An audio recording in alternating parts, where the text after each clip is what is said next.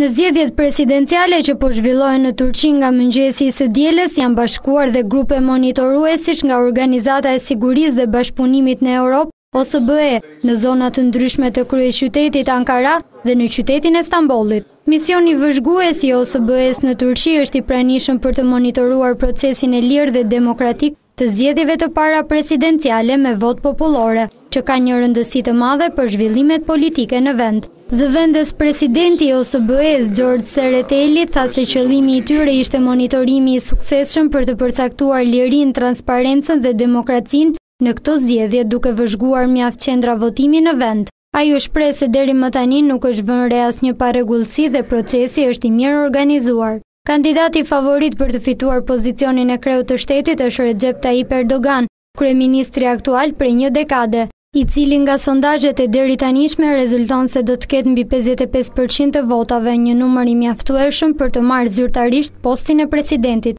Pritet që në zgjedhjet e sotme të marrin pjesë rreth pesëdhjetë e tre milionë zgjedhës turq.